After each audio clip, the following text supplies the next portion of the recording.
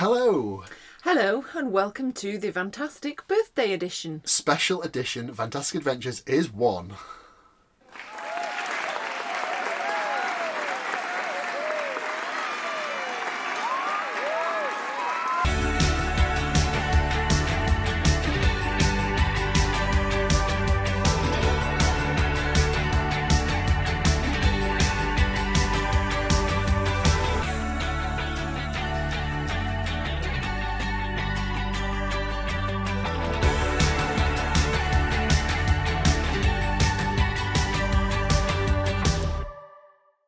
So, all good birthday celebrations start off with some fizz. We're going to start off with our, our fizz.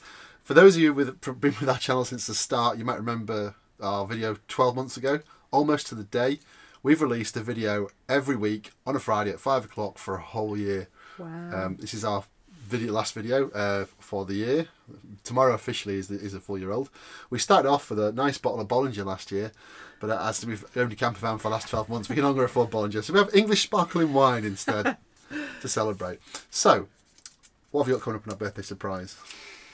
um, hopefully, no accidents with the popping cork.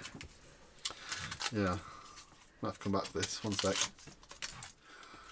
So, Wine of England, English Sparkling, Grand Vintage, Brut, 2010. Woo. Happy birthday, Vantastic Adventures. So, cheers, happy anniversary. First year, Birthday, anniversary. I anniversary know. birthday. Whichever. It's one year in. Happy anniversary birthday to Vantastic Adventures, one year old. Cheers to us and for you guys for sticking with us. Yeah, thank you to all of our subscribers. If you haven't got a drink, go and grab one now and join us in a celebratory birthday drink. 1,700 subscribers we've got nearly. Wow. That's 1,697 more than I thought we'd ever have. Yeah, we started this channel to promote our van and to give it a bit of a, like, there's not much information it, was there, when we first bought it? We thought we'd try and help people, but it's actually grown and we've mm. really enjoyed making the videos. Yeah, I mean to be fair, it's always something that you've been interested in, hasn't it? And you've always made videos, and especially during lockdown when it was harder to see family, we'd make little videos and then put them privately on YouTube to share with family members and stuff. And then it was, you know, we watched so much YouTube buying the van that we thought, wow, do we dare share it with the wide world? A great way to keep up with uh, what we've been doing anyway. So I hope you've enjoyed. So this week's video, what are we doing? Well, first of all, we're going to give you a profile on one of Vantastic Adventures. So one of our most popular members. We're going to give you a bit of a bit of a profile on that on that one member. Yeah, we were going to put it to a vote to see which one of the three of us you wanted to know most about, but we figured we knew who'd win. So yeah, we're going to So do it's Iain, yeah. We do a special profile on one of our members in, in one second. We're also going to give you some top tips for travelling with dogs. We get asked loads and loads of questions about travelling with dogs, um, particularly after the NEC show. Lots of people new to the hobby and camping. So we're going to show you again our top five things that we like to do with Mollie to keep her comfortable when she's travelling with us. And then we're going to talk a little bit towards the end of the video about what we've got coming up over the next few months, including some European travel. Yes! Finally. Right, profile on Vantastic Adventures. Let's go.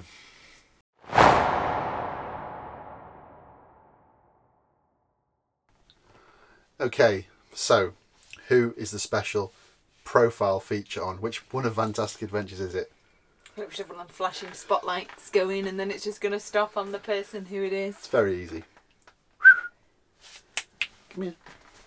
Come on. Come on then. Come on. Special anniversary special. Come and sit down. Sit on the chair with us. Of course, it's Mollie. She's lad in the chair today. It's a The special crowd anniversary. pleaser. So The star of the show. Mollie has been definitely our star of the show. We get lots of love and questions from Mollie. She's been recognised in the street and she's very popular, as you can probably imagine. Most dogs are, they're cute. Um, and she's been a brilliant travel companion. So we're going to give you a bit of a feature on her so you can learn a little bit more about her and uh, what she's been up to in her seven years of life. So Oh, seven. you can start. When do we get Mollie? So we got Mollie in October of 2014. She was born in the August, so we got her straight from the breeder as a as a young pup. As a puppy. Don't worry, we will sh- cut to some footage and show you Mollie when she was a puppy. We have got lots of footage of her when she was a pup. She so you can see that. cute. Warning is she was very cute, yeah.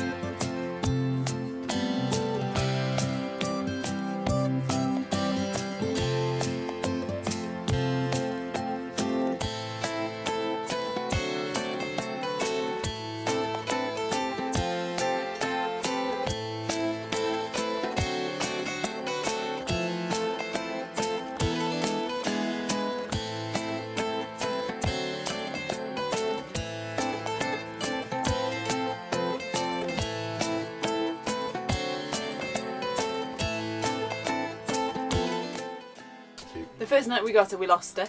Um, Yeah, so we? yeah, um, we basically got Mollie, took her home. In our house, previous house, we had a wine rack. Thank you, you gave me cuddle. That's nice. We had a wine rack. That's one of the reasons we bought the house. It sounded fancy, but we never used it for wine. We just used to store orange squash in it till Christmas. And we came downstairs in the morning and we couldn't find Mollie anywhere. She was secure in the kitchen. Couldn't find her. She was a tiny puppy. We spent for five minutes looking for it and panicking, thinking she'd escaped. we had no idea where she'd gone in a cupboard or no way she could have escaped. Literally no way she could Yeah. have escaped. We were like totally confused. We eventually found her actually in the wine rack. Sleeping in the wine rack. curled up at the Yeah. bottom, hidden away in the corner. She was tiny, she just about fitted inside. So that's one story. I'll tell you three very quick stories about her. Second one, is yours when she nearly got stolen. Oh yeah, shortly after that, I think because we'd not had a dog in the garden. We we did used to have a dog before Mollie, and obviously we hadn't had a dog for a while, and so there'd been no dog in the garden, and we hadn't had it that long. Um, it's quite rural where we lived. A big uh, kestrel or buzz, not a kestrel, sorry, a, a buzzard flew in, and it swooped it swooped down, went to grab her. She was in the garden, but literally just as I walked out, so it just flew away. So Mollie's near miss. And we also nearly lost her a few weeks after she was she was allowed off the lead. We took her to a country park, and it was really frosty. It was over the winter after she'd just been born, and someone had been throwing bread for the ducks, and Mollie's really partial to bread. She loves bread. and the ice was really thin. It was right in the middle of a pond or a lake, sorry, and it was the water was quite deep. Mollie went out uh, to go and get the bread. She wouldn't come back no matter what we did. Oh god, it was horrendous. twenty people on the side shouting to come back, frightened she was going to fall in through the ice. Just she, waiting for the ice to crack and fall through. she managed to eat all the bread and then come back safely without breaking the ice. So we were very It's happy. no wonder I'm a nervous wreck, isn't it? really, when when you regale these stories, it's it's no wonder. So this is Mollie. Yep, she's our border collie. She's seven years old. We've both had border collies before, even before we met, and then we've had border collies before we had Mollie. Um, but she is definitely the most cleverest border collie we've had. Uh, she's really, really clever. Um, she's also the most cuddly, but she's also the most. Um, it's the word. Um, Savage. savage. yeah, she's also when she's uh, when she wants to be, she can be a, a little monkey. What does that say? When she's nice, she's really nice, but when she's bad, she's really horrible. Yeah, but um, no, she's a great dog, really good travelling companion, and that's one of the reasons when we got a camper van, we wanted to make sure we could obviously take Mollie with us. We didn't for the first few months. No, the first few months we We were a bit just scared. trying to get to grips with it, and also, I think we've been a while without a dog, so we uh, and we didn't have a van or anything before with our previous dogs. We sort of forgot how um, dog-friendly places can be and adaptable, and how adaptable dogs are, and um, you Yeah. know, a lot of places welcome them, don't they? Yeah, one- Even restaurants and things. One of the biggest things is they're just comfortable to be with you. So if you do, th- if you are thinking of buying a camper van, we'll share our top five tips in a second. But if you are thinking of getting a camper van or a motor, motor motorhome or a caravan, and you're not sure about your dog, honestly, they absolutely love it. Um, she's totally comfortable coming away with us. She gets walked all the time. It gets us outside and mobile. It's one of the best things we could have done. So if you haven't got a dog, get one. If you've got one, don't be worried about taking Or just camping. borrow one. I, I I would be an advocate for borrowing or sharing a dog. Dog share's a good option. Uh, yeah. So anyway, we'll cut to our top five tips for travelling with dogs. So Mollie's likes and dislikes. Mollie likes food. She will do anything for food. Oh, yeah, anything for a biscuit. Yes, and as we said, she does love some bread. Um, she's a bit. She's very partial to people food. I think she actually thinks she's a person. She also likes um, chasing things, particularly. Um, there's a few words that we can say for things that she likes to chase, which will trigger her into looking for them. One's begins with squat and ends in irl. Okay. Um, you can see she's already got a bit twitchy. Um, Thank you. and also, as Iain will uh, testify, she likes to chase Land Rovers. Yeah, completely likes to chase Land Rovers, and she manages to, to detect the diff whine on a Land Rover from about a mile away, and then as soon as they come near, she tries to chase them. Only Land Rovers, no other vehicle, just any Land Rover, which is quite funny. Um, I think maybe something to do with the farm when she was a puppy. Um, and also, she loves swimming. Anybody seen our videos? She absolutely loves swimming. She does love swimming. Yeah. What does she not like? She does not like uh, loud noises, Yep. sudden noises, strangers, people that wear high vis, um, people that come in van. To get one thing that did take ages, she has a. Um, she hates delivery people, like Yeah. the Post um, people. Post Apologies, or post anything like that. So yeah, she she Post people. um, apparently there's a note in the post person's van to say watch out for the dog at our house, which is a bit embarrassing. Yeah. Um, That's not in the van, that's actually in the post office sorting office. Yeah, Yeah. you have to have a note about her. So best move on. savage dog. Hopefully they might, they might, might not watch this video and Um, see it. Yeah, so she always is is on high alert if somebody outside with a delivery van, you know, the sliding door. So when we got this, every time the door opened or closed, she was jump. It, even though she was in the van or stood next to the van, it took her ages to get over She's that, didn't now. it? You're bored So she's heading off. Yeah. Yeah, no, Good even work. I'm bored now. Sorry, take take a hint. Just one quick thing to mention Mollie's parents. So, Mollie's dad was a working farm sheepdog, and Mollie's mum was a breeding dog, a pedigree border collie. So, yeah, she came from pedigree stock, but her dad was a working dog, and her mum was a pedigree breeding dog. So, she's got a bit of working dog and a bit of pet. Haven't you, Mol?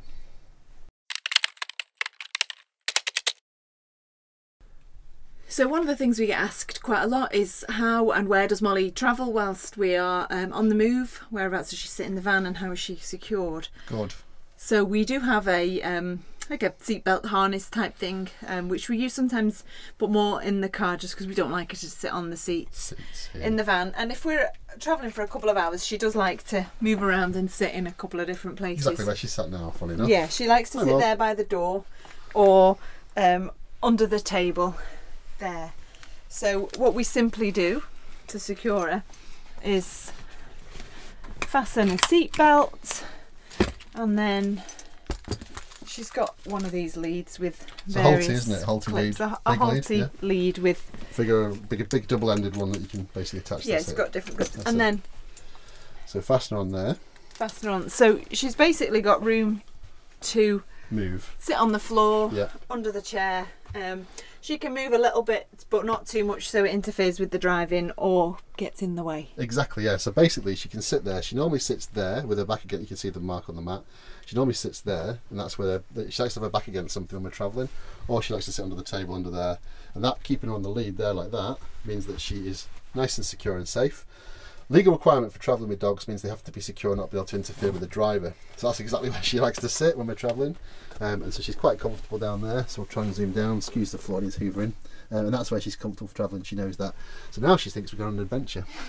Oh, But really simple, really easy. Obviously, different dogs different require different requirements. But once you can test your dog and it's comfortable, it's exactly where Mollie likes to sit.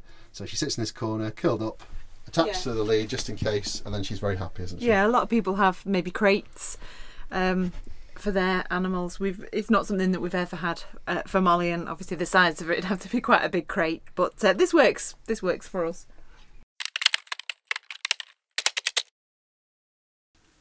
So one thing I found really useful, and Caroline uh, came up with this idea because it's really really helpful for me. Uh, Mollie has dry food, so it depends on your dog if it has you know wet food in a can or has dry food, whatever. So we take Mollie's food pre-weighed out into bags. So how many days she's going, so it's really easy. You just take the bag, open it up, pour it into a bowl, and that's great. She has breakfast and she has dinner. She has like a chewy bar at lunchtime. So two meals a day in that bag. They're packed up with Mollie's stuff. It's a really easy way, clean and, and hygienic for transporting her food and making sure you've got the measurements easy, easily weighed out. Another tip: if you don't want to put it into food bags, if you you know concerned about the environmental impact, etc., you can always put it into into uh, dog bags, what I call them, um, dog bags that you carry the dog stuff around in. So put into that instead, and you can then obviously reuse them as well for when you pick up after your dog. So that's an alternative rather than using food bags. You can always put them into into dog bags as well. Uh, poo bags, I think they're called. Not sure. anyway, that's a useful tip.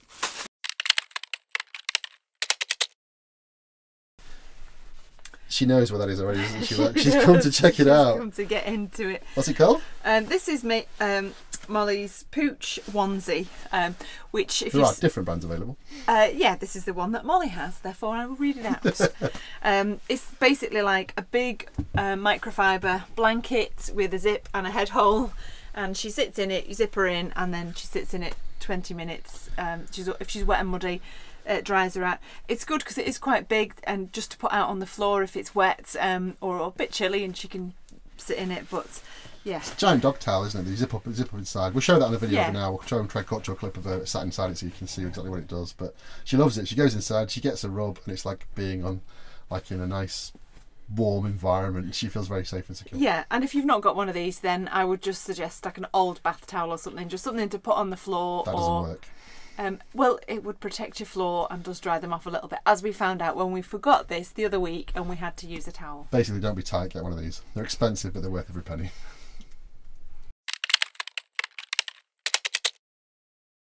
Something that's really, really good to take for your dog is find the dog's favourite toy and put it in the van, and it makes the dog feel at home. Mollie's favourite toy is now this monkey we got from the NEC. She absolutely loves it, um, as you can probably see. Hello, is that your monkey?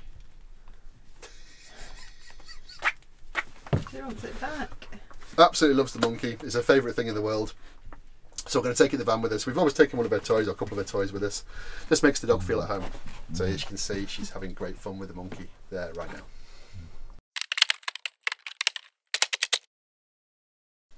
Uh, so, really useful thing if it's uh, dark, if you're taking the dog out last thing at night or first thing in the morning, is don't forget a torch.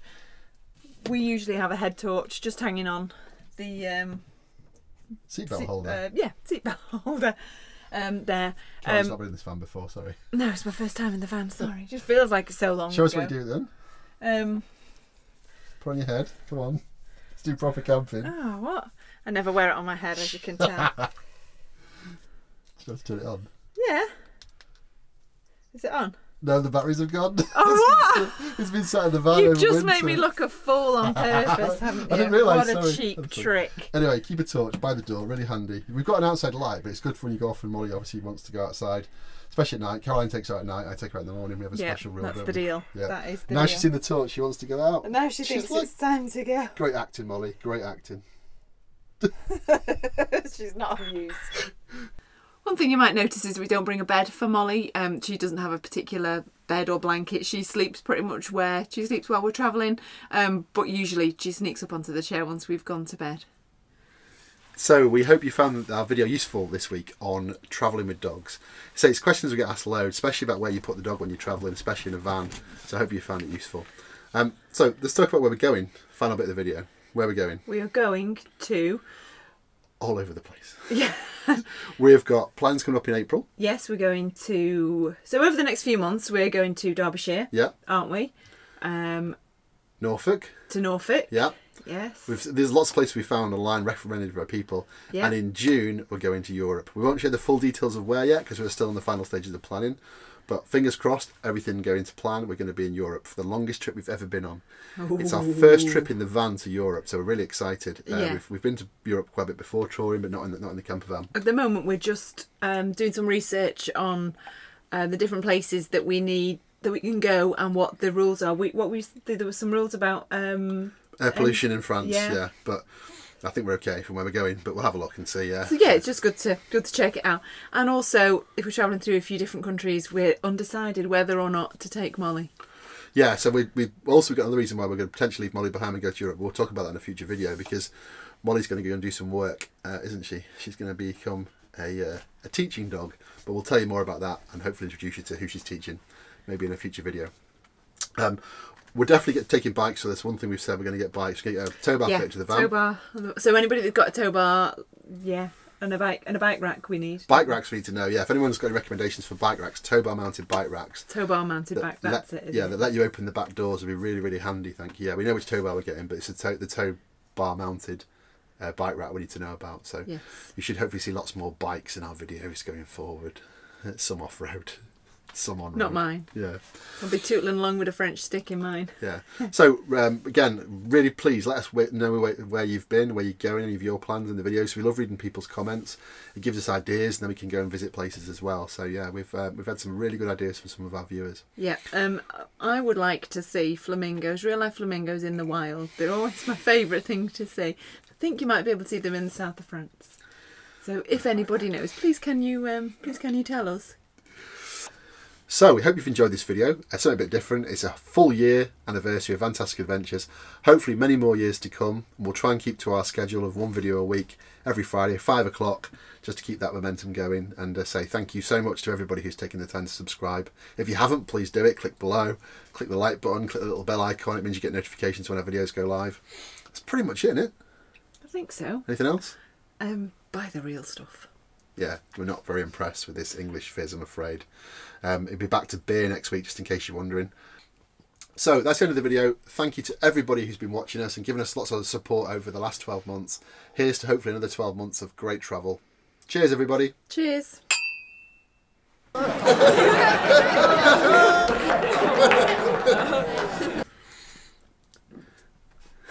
Thanks, burp. Mollie?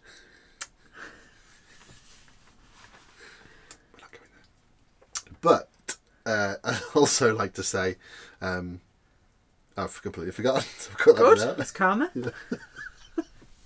I was going to say. So one thing you might note is that we don't bring a bed for Mollie. There's So nowhere. just again, because the lights, it wasn't quite cut in. It takes Yeah. a second for All I can see is you going in. the background. I quit. Done a year. I'm, I'm, that's it. I'm out.